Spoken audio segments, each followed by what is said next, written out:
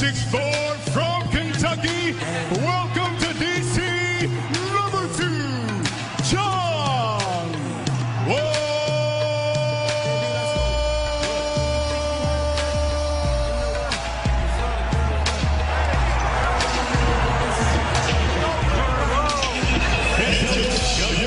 Bill, once he gets over his shyness, he's going to be something else, isn't he? He's so reserved. We enjoyed the public address announcing from new announcer Ralph West.